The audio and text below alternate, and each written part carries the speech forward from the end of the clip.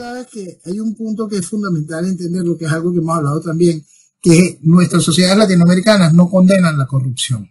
Entonces, todo este escándalo de corrupción simplemente se va a perder.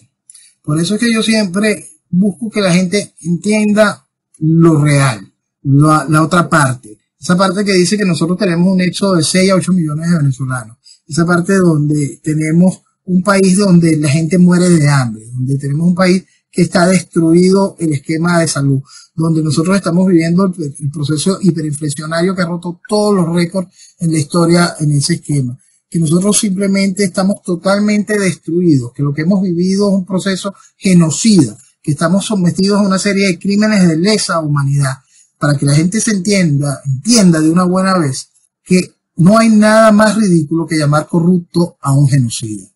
Cuando se le dice corrupto a un genocida, se le está escupiendo sobre la memoria de sus víctimas. Entonces, entendamos la realidad de lo que ha significado el chavismo para poder comprender que más allá del acto de corrupción y toda la estructura de corrupción, lo que la gente no termina de valorar, la importancia de qué es y cómo se genera, que gracias a ese esquema de corrupción se ha permitido y avalado todo este tipo de cosas, entiendan el resultado de ese tipo de cosas. Crimen de lesa humanidad. Un país ha sido asesinado. Un país ha sido asesinado. Y se utilizó y se usa el hambre de los venezolanos para financiar revoluciones en los países más insospechados, mucho más allá de lo que es nuestro continente. El legislador de Encuentro Ciudadano dijo que no habrá otro presidente hasta que en Venezuela no se celebren elecciones presidenciales y parlamentarias eh, mientras tanto, Guaidó seguirá como presidente encargado de la República. Entonces no le hacen caso al libro ridículo. no le hacen caso y se inventa cada pendejada y te obligan al país a que permanezca amarrado entre la idea de que lo que sirve es la basura y la porquería. Por eso es que hay que evolucionar y dejar todo aquello atrás. ¿Te acuerdas que una vez hace unos meses tú viste como positivo una declaración de un vocero de ese mismo partido con respecto a las elecciones? Yo te dije, no le pares que son la misma porquería. Ahí tienes una fotografía de esa porquería. Pero, pero es asqueroso. Escribió un tuit. A ver si lo encuentro no, y la presidenta de su partido, la creadora de ese partido, de de una declaración igual de asquerosa, donde dice de manera clara que Chávez es Maduro, punto, no hay más nada. Porque para ellos lo único que hay es porquería, porque son eso. Eh, tú sabes que hoy me está resultando muy difícil salir de esta idea de, porque lo que siento es, y yo creo que lo sientes tú y lo siente cualquier persona que tiene algún mínimo de dolor y entendimiento de lo que está sucediendo, es esta sensación de asco, de repugnancia, de estar rodeado de porquería. Y eso es porque esa es la realidad. Entonces, para poder decir que mañana podemos respirar un aire más decente, y refiriéndome mañana no al hecho electoral de mañana, sino al mañana de Venezuela, tenemos que entender que hay que dejar atrás a toda esa porquería. Toda esa porquería. Toda esa estructura política nacional, toda la estructura comunicacional nacional, mucho de la estructura académica nacional, ha estado involucrada en el sostenimiento de esta gran cochinada, de este fango asqueroso. Y es fácil distinguirlas, lo repetimos constantemente, se llama socialismo dense cuenta de esa realidad y vamos a poder avanzar muchísimo para la reconstrucción de Venezuela. Porque para la salida de esto hay que extraer todo aquello. Y para la reconstrucción del mañana, punto fundamental es entender que el socialismo siempre mata. No importa la cuota de la que se coloque. Viene a hacer daño y hará daño. Pero eh, cuando hablas con algunas personas que dicen, ¿pero qué importa Venezuela? No, claro que importa. Porque lo que pasa en Venezuela afecta a todo el continente. No le pararon, no le pararon. No le pararon y aquí estamos viviendo esta realidad. Mm, porque, tú sabes, eh, igual, cada país tiene una importancia fundamental cuando estamos hablando de los esquemas revolucionarios. Los esquemas revolucionarios logran hacer que países como esa isla que está ahí en el Caribe tenga tanta relevancia a nivel mundial, sea tan extraordinaria su, su, su repercusión en su acción política y haya contaminado para que lleguemos a este caos donde se utiliza Venezuela. Este, porque la gente obvia eso, el concepto ideológico. Cuando la gente asimiló aquella mentira barata, eh, que fue bien cara colocarla de, del cuento del fin de la historia, la gente le mataron la lógica frente a ese tipo de realidad. Entonces, cuando no se entiende el costo ideológico, no pueden comprenderlo. Cuando simplemente se reduce al concepto de que qué importa este país o este otro o aquello otro o qué importa toda Latinoamérica.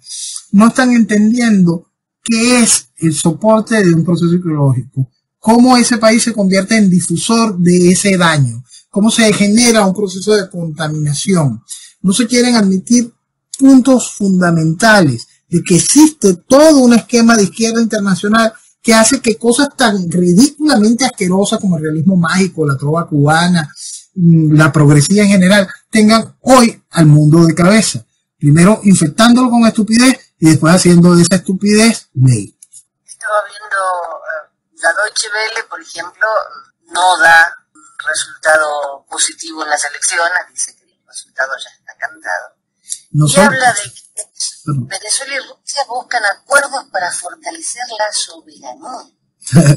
la Deutsche Welle no solo da los resultados como cantados, sino que dice que en Venezuela todo está bien. Fíjate que el problema es que estos partidos están yendo elecciones y está todo normal. Ya de una vez ellos están legitimando que en Venezuela está todo bien durante el chavismo y que Venezuela va a elecciones. Por supuesto, un trabajo que no es novedad dentro del esquema de la Deutsche Welle.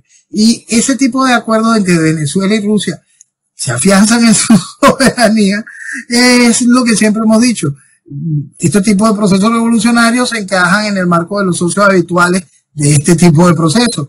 Y la cocinada es la constante, ¿no? Entonces, técnicamente no hay novedad con respecto a eso. Cualquier país que tome las banderas de la revolución va a contar con esos socios y con supuesto con la protección de esos socios en todos los niveles, incluyendo el Consejo de Seguridad de las Naciones Unidas, donde esos socios tienen poder de veto. Y aparte, no solo todos los que queremos vivir en libertad, así de simple. Así de simple, así de simple. Porque mi país no está bien, no sabemos qué va a pasar dentro de dos años y a pesar de la derrota que tuvieron en las elecciones de medio tiempo, yo creo que en dos años la gente se olvidó y lo vuelven a votar, porque le regalaron una heladera a gente que no tiene electricidad o una cocina a gente que no tiene gas. Nosotros podemos ver en Argentina, podremos ver en Argentina unos movimientos bastante interesantes que pueden incluir hasta la cúpula misma de, la presidencia para poder eh, sacrificar y poder cobrar. Podemos ver cualquier cantidad de fenómenos. De verdad, si estamos en... Eh, esperen el absurdo. Es quizá hoy la lógica que se puede ver en cada uno de estos países. Y lo más gracioso es que esperen el absurdo que puede haber ya sucedido y que te lo pinten como novedad. Porque lo más aberrante sucede en este continente y todavía no nos queremos dar cuenta. Tú sabes que esta semana encontré un titular que decía, en estos momentos Cuba sufre un alivio después de décadas de presiones económicas. Y yo digo, pero este es el mismo titular de todos los años. Es la misma cocina de todos los años. Entonces te venden como novedad una cosa que es absolutamente ridícula porque es la de todos los años. Entonces nosotros tenemos que aprender una cosa en Latinoamérica hasta que Latinoamérica no, no se arrope de seriedad. Esperen lo absurdo y te lo harán ver como cotidiano. Casi esa es la, aquella frase del criminal Ernesto Che Guevara cuando él dice en revolución lo extraordinario se hace cotidiano. Bueno, en revolución lo absurdo se hace cotidiano y lleva a los países al caos. Noel, eh, nos tenemos que despedir. Al venezolano que todavía está pensando hoy a votar, acuérdense que usted vota, pero no elige. Así que mejor quédese en su casa, porque no, no, votar es ser cómplice. Punto. No hay otra. Exactamente. Votar en tiranía es darle más armas a que te destruye tu nación.